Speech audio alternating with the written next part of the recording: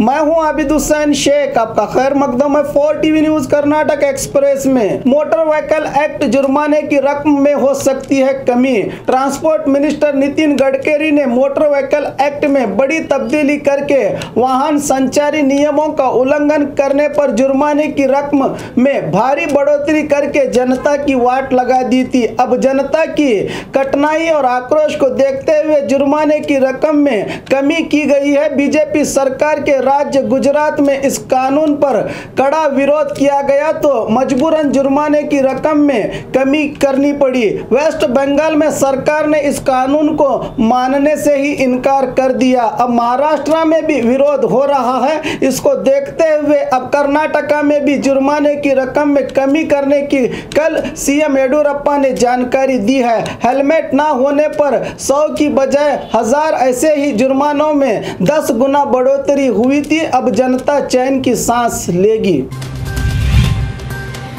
पूजा के नाम पर इज़्ज़त से खेलने की कोशिश स्वामी जी बने पुलिस के मेहमान। दिन में साधु रहकर, रात में जादू करने वाले दो बाप बेटे स्वामी गणेश आचार्य और मणिकांत आचार्य का भांडा फूट गया है। बेंगलुरु, बनसवाड़ी इलाके में धर्म और श्रद्धा के नाम पर महिला को धोखा देकर उसकी इज़्ज़त से खेलने की कोशिश करने वाले गणेश आचार्य और मणिकांत स्वामी ने बेंगलुरु कल्याण नगर की एक परेशान महिला को धोखा देकर संकटों का परिहार करने के बहाने उसकी इज़्ज़त से खेलने की कोशिश की है। स्वामी जी ने कुंडली में सर्प दोष के चलते पूजा की और इस पूजा के सामान को कुके सुब्रमण्यम में विसर्जित करने की बात कहकर महिला को कुके ले गए। वहाँ लॉज में ठहर कर कहा कि हमसे शारीरिक संबंध बनाओ तो सब ठीक होगा। युवती जब इनके उद्देश्य को जान गई तो लॉज से किसी तरह निकल पड़ी। अब बनसवाड़ी पुलिस मणिकांत स्वामी को गिरफ़्तार कर चुकी है। गणेश स्वामी की तलाश जारी है।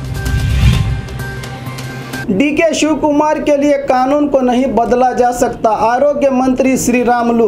डीके शिव कुमार की गिरफ्तारी पर कल बेंगलुरु में वकीलीगा समुदाय ने बड़ी रैली का आयोजन किया था। इस मामले को लेकर पूछे गए सवाल पर चित्रदुर्ग में आरोग्य मंत्री श्री रामलू ने कहा कि पहले भी राज्य में ऐसी रेड्स हुई हैं, ये पहली बार नहीं है। आप इतिहास उठाकर देखें, सब कुछ कानून के तहत ही हो रहा है, कानून से बढ़कर कोई नहीं है। डीके शिव कुमार के लिए कानून को बदला नहीं जा सकता। प्रजा प्रभुत्व में सबको एहतजाज प्रदर्शन करने का हक है, मगर सरकार की जायदादों को नुकसान पहुंचाना ठीक नहीं कहा आरोग्य मंत्री ने। स्कूल में गिर रहे हैं पत्थर। आखिर क्या है इसका राज? जैसे ही बच्चे स्कूल में दाखिल होते हैं तो ना मालूम कहाँ से इन पर पत्थर गिरने लगते हैं? उसी तरह जब शिक्षक पाठ शुरू करते हैं तो पत्थर गिरने लगते हैं। ये अजीब गरीब घटना बागलकोट जिला गुड़ेदगुड़ तालुका के इंजनवारी के सरकारी स्कूल में पिछले एक महीने से घट रही है। इस घटना को देखते हुए विद्यार्थी, पोषक, शिक्षक सभी आतंकित हैं। इन पत्थरों के कारण शिक्षक विद्यार्थी घायल हो रहे हैं। स्कूल की छत तंदुरुस्त है। खिड़कियों को जाली लगाई गई है। दरवाजे बंद करने पर भी न जाने कहाँ से पत्थरों की बरसात हो रही है। बीईओ और पुलिस को बुलाकर दिखाया गया तो उनके नज़रों के सामने ही पत्थर गिर रहे हैं। मगर सवाल उठता है कि कहाँ से? कुछ स्थानीय लोग कहते हैं कि ये भानामती की करनी करतूत के कारण हो रहा है। बहरहाल, जो भी हो, अगर इन पत्थरों के गिरने से किसी विद्यार्थी को नुकसान पहुँचे तो इसका जिम्मेदार कौन होगा? अब पोषक भी अपने बच्चों को इस स्कूल में भेजने से कतरा रहे हैं। क्या कोई इस मामले की तह तक पहुंचेगा? ये सवाल उठता है। हमारे देश को सेक्युलरिज्म की आवश्यकता नहीं। कल्लड़ का प्रभाकर भट्ट, मंगलुरु के रामकृष्ण मठ में आयोजित स्वामी विवेकानंद जी के शिकागो भाषण की 125वीं सालगिरह पर स्वच्छ भारत, श्रेष्ठ भारत कार्यक्रम का उद्घाटन करते हुए आरएसएस मुकुंद कल्लड़कर, प्रभाकर भट्ट ने कहा कि इन सत्तर सालों में सेक्युलरिज्म की परिभाषा नहीं बदली। सेक्युलरिज्म का मतलब ही सबको लेकर चलना है। हमारे देश में ये पहले ही सदी से चल रहा है। हमने फारसियों को देश में आश्रय दिया, उनकी जनसंख्या तिरसठ हज़ार से भी ज़्यादा है, मगर इन्होंने कभी अपने लिए अल्पसंख्यक का दर्जा नहीं मांगा। देश कभी भी सेकुलरिज्म के विरुद्ध नहीं था, मगर इन सत्तर सालों में हिंदू समाज की हार हुई है, कहा कल्लड़कर प्रभाकर ने। निवृत्त सैनिक को ज़मीन मंजूर न करने पर तहसीलदार के छक्के छुड़ाए सांसद ने। चिकबल्लापुर जिला सिडल घट्टा तालुका के तहसीलदार दफ्तर में पिछले पंद्रह दिनों से भारतीय सेना के निवृत्त सैनिक मंजूनाथ धरना दे रहे हैं। इनको सरकार ने ज़मीन देने का वादा किया है, मगर अब तक ज़मीन नहीं मिली।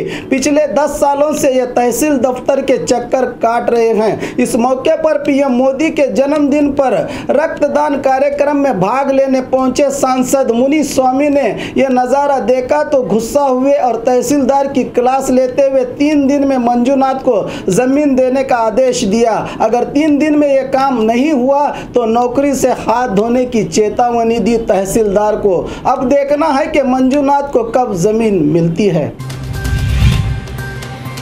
पूर्व कांग्रेस मंत्री की पत्नी पर करंट चुराने का आरोप। बेंगलुरु के संजय नगर में कांग्रेस के पूर्व सचिव के एच मुनियप्पा की तीन मंजिला इमारत है, जिसमें जिम, पब वगैरह कमर्शियल दुकानों को किराए पर दिया गया है। ये इमारत मुनियप्पा जी की पत्नी नागरत्ना के नाम से है। पिछले एक साल से यहाँ बिजली इस्तेमाल हो रही है, मगर बिल नहीं भरा गया। एक साल का बिल नौ लाख चौरासी हज़ार जुर्माना मिलकर मिलकर कुल 22 लाख हुए हैं, मगर किराएदारों के नाम पर एफआईआर दर्ज हुआ है। जबकि मकान मालिक के नाम से होना चाहिए था, अब तक बेस्कॉम ने एक नोटिस भी मुनियप्पा जी की पत्नी को नहीं भेजा। क्या पूर्व सचिव से डर गया बेस्कॉम वाले? सवाल कर रहे हैं किराएदार। निलंबित विधायकों का मामला जल्द सुनवाई से सुप्रीम कोर्ट का इनकार। अधिकार के लालच में साझा सरकार को गिराने वाले जेडीएस और कांग्रेस के सत्रह विधायकों के मंत्री बनने का सपना न जाने कब पूरा होगा। जुलाई 12 को स्पीकर रमेश कुमार ने इन विधायकों को निलंबित करके आदेश जारी किया था। इसी आदेश को चुनौती देते हुए सुप्रीम कोर्ट में मामला चल रहा है, मगर कोर्ट है कि सुनवाई के लिए तैयार ही नहीं है। वकील रोहटगी ने पिछले दिनों कोर्ट से निवेदन किया था कि मामले की सुनवाई जल्द हो। सुप्रीम कोर्ट के कॉज लिस्ट में इस केस की तारीख 16 सितंबर को थी, जो अचानक से डिलीट करने पर आज वकील ने कोर्ट से निवेदन किया। तो कोर्ट ने कहा कि इस मामले में ऐसी क्या जल्दी है? शायद कोर्ट को पता नहीं कि विधायकों को मंत्री बनने की जल्दी है। सरकारी ज़मीन पर गैर कानूनी कब्जा कार्रवाई की मांग। आज गुलबर्गा में मीडिया से बात करते हुए श्री राम सेना के गौरव अध्यक्ष और आंदोला करणेश्वर मठ के सिद्धलिंग महास्वामी ने बताया कि गुलबर्गा जिला जेवरगी तालुका के यड्रामी ग्राम में कांग्रेस विधायक अजय सिंह के समर्थक सरकार की अनुमति के बिना गैर कानूनी तौर पर घरों का निर्माण कर रहे हैं। यड्रामी ग्राम पंचायत पीडीओ और अध्यक्ष ने मिलकर यह घपला किया है। इन पर सख्त कार्रवाई की मांग की स्वामी जी ने। बीदर जिला अधिकारी और विधायक के बीच नाराज़गी शहर के विकास के लिए विधायक और अधिकारियों के बीच ताउन की ज़रूरत है, वरना शहर के विकास में बाधा पड़ सकती है। ऐसा ही मामला बीदर में नज़र आ रहा है। वेटरनरी मिनिस्टर प्रभु चौहान ने कल विज्ञान केंद्र के कार्यक्रम के बाद मीडिया से बात करते हुए जिला अधिकारी से नाराज़गी जताई, कहा कि पिछले की सरकार के सचिव के छोटे छोटे कार्यक्रम में भी डीसी महादेव नज़र आते थे, मगर बीजेपी के नेतृत्व की सरकार के मंत्रिमंडल के गठन के बाद 20 दिन गुजर चुके हैं। अब तक ज़िले में हुए एक कार्यक्रम में भी डीसी ने हिस्सा नहीं लिया। मुझसे एक बार भी मिलने की कोशिश नहीं की। खैर, वो अपना काम करे, मैं अपना काम करूँगा, कहा मिनिस्टर ने। इंडी के पास रेल इंजन में आग आज सुबह बीजापुर से शोलापुर की ओर जा रही। ट्रेन के इंजन में आग दिखाई दी तो इंडी तालुका के लच्चान पडनूर के बीच ट्रेन रोककर रेलवे सिब्बंदियों ने आग बुझाकर बढ़ते हुए खतरे को टाला। फिर बीजापुर से दूसरे इंजन ले जाकर ट्रेन को जोड़ा गया, जिसके चलते दो घंटे की देरी हुई।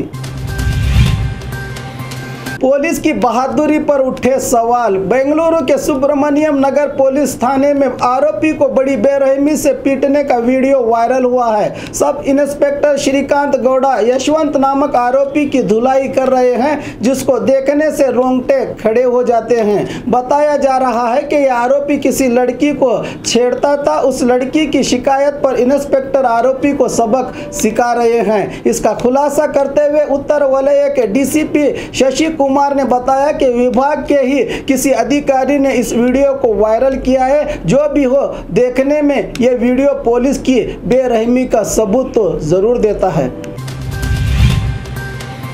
उपचुनाव में होगा गठबंधन का फैसला। देवेगौड़ा, आज बेंगलुरु के जेपी भवन में अपने पक्ष का वेबसाइट का उद्घाटन करते हुए जेडीएस वरिष्ठ देवेगौड़ा ने कहा कि उपचुनाव में कांग्रेस के साथ गठबंधन रहेगा या नहीं, इसका फैसला सोनिया गांधी लेंगी।